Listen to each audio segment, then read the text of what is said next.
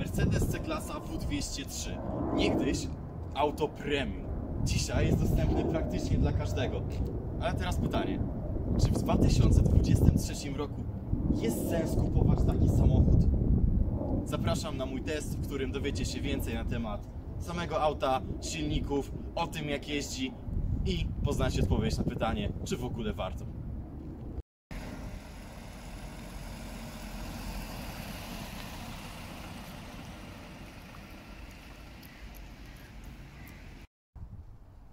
Jeśli chodzi o karoserię i stylistykę, no to co tu dużo mówić. Klasyczna linia Mercedesa z dużą ilością obłości. Generalnie ta linia jest cały czas smukła, elegancka i ten samochód zestarzał się godnie. Tylko, no jakby nie patrzeć, widać, że to jest po prostu stary samochód. Z tyłu, no co jak co, ale ta linia trzyma się cały czas po prostu fantastycznie. W szczególności, że mamy tutaj wersję C32. Ale żeby to was nie zmyliło, pod maską mamy diesla. Na pewno problemem W203 jest jebana ruda szmata. Te auta naprawdę rdzewieją i zwróćcie uwagę na stan blacharki przy wyborze swojego egzemplarza. Jeśli chodzi o środek, no tutaj można mieć mieszane uczucie, bo nie można powiedzieć, że tu jest brzydko. Ale jak mówię, no to wnętrze też się zestarzało dosyć mocno.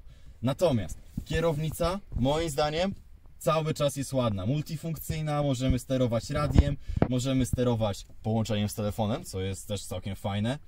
Eee, konsola centralna, no w tym egzemplarzu akurat brakuje tutaj kratki, ale skupmy się na tym, co jest poniżej. Panel radia klasyczny z małym wyświetlaczem. Dalej, e, klimatyzacja, w tym przypadku dwustrefowa, automatyczna, skrzynia biegów, ten drążek, no akurat mi się podoba. No tu jest akurat wersja Elegance, więc to się naprawdę bardzo fajnie prezentuje. No i podłokietnik.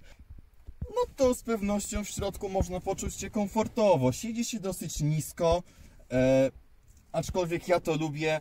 Dobrze widać drogę, jest całkiem wygodnie, na szerokość jest ok, na wysokość jest ok, nawet jak mam czapkę z pomponem.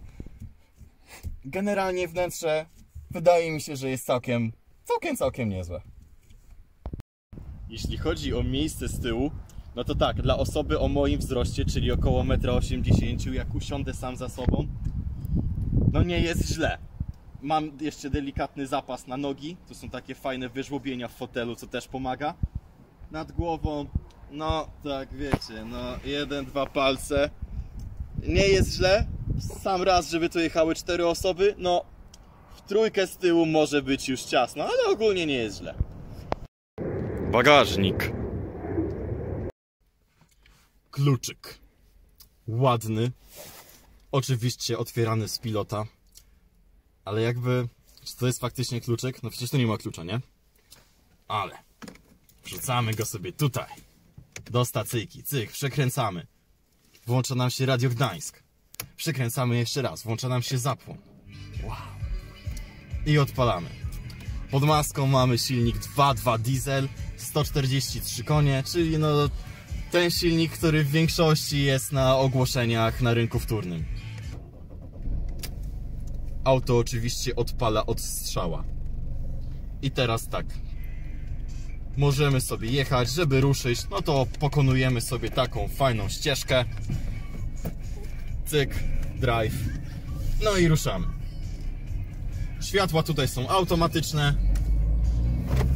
Z pewnością, jeśli ktoś przesiada się z nowszego samochodu, no to będzie czuć, że ta kierownica chodzi trochę ciężej niż w przypadku tych nowszych aut. No ale nadal nie jest źle. Układ kierowniczy powiedziałbym, że jest z tych raczej komfortowych, aczkolwiek żeby was to nie zwiodło, auto tak czy siak całkiem fajnie trzyma się w zakrętach. Wyciszenie. No słuchajcie, to jest jednak diesel 2.2. Słychać go i na postoju, i podczas jazdy, i w sumie to słychać go cały czas. No niestety, taki urok. Ale czym ten diesel się może w takim razie odwdzięczyć?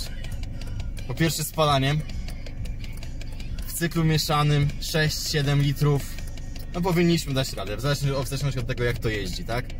Na trasie spokojnie możemy sobie zejść do 5, może nawet mniej, jeśli będziemy jeździć oszczędnie. No w mieście no to wiadomo 8-9 spokojnie sobie może tutaj e, skonsumować tego paliwa. Przyjmijmy sobie, że mamy ten budżet nie wiem, 7 tysięcy złotych. No i teraz pytanie, co tu można w ogóle kupić? Jeśli zależy nam na tym, żeby samochodem jednak jeździło się komfortowo, żebyśmy jednak mieli tą markę premium, żeby można było czuć tą jakość, no bo tutaj plastiki są naprawdę dobrej jakości, no, no jest tutaj komfortowo. No to w tym przypadku warto ten samochód rozważyć, zwłaszcza, że no co mamy z konkurencji? Możemy mieć sobie BMW E46, no ale mamy wtedy silnik co? 2.0 diesel albo 3.0. No, oczywiście lepiej wziąć 3.0 a 46. No ale czy za 7 koła taki dostaniemy dobry? To zależy. W premium z dieslem na Audi A4, tak? No i to w zasadzie tyle. Ewentualnie co, jest jeszcze Lexus IS200, no ale tu już jest benzyna, no to on akurat jest bardzo fajny jeszcze do gazu. E, Generalnie powiem tak, trzeba się liczyć z tym, że ten samochód może nas trochę pociągnąć e, budżetowo e, w dół, tak?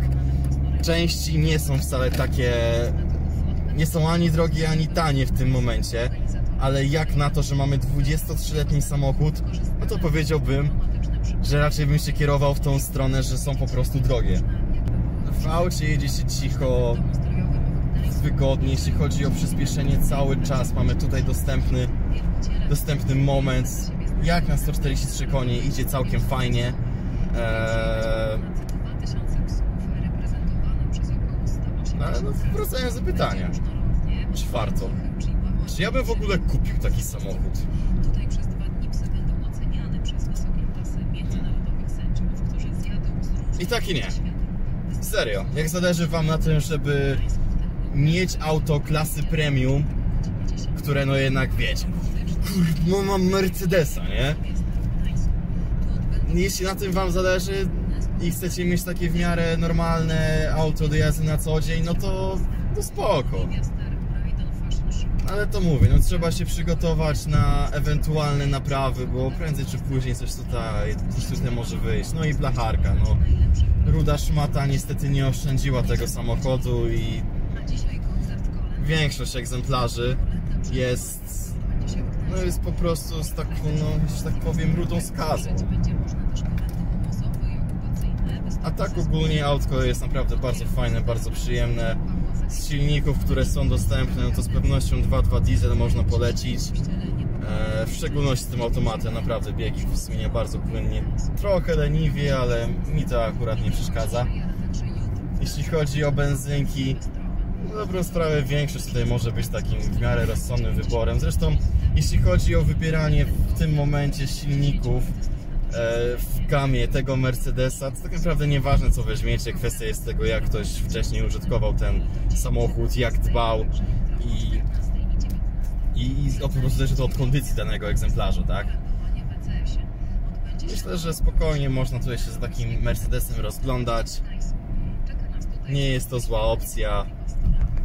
Jak za jakieś 5-7 koła sobie kupicie po prostu auto klasy premium, no na pewno będzie się tym lepiej jeździć niż Dacia Logan. Ale to mówię, wybór zależy, zależy od Was.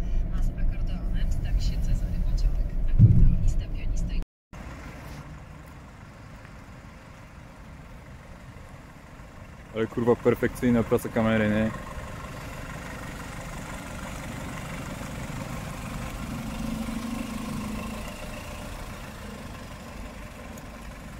No ale to wygląda jak gówno jebane stary. Trzeba po prostu na jakąś normalną ulicę kurwa, nie? Bo tak to nie ma sensu Ej, nie, żadnego. no ładnie ten.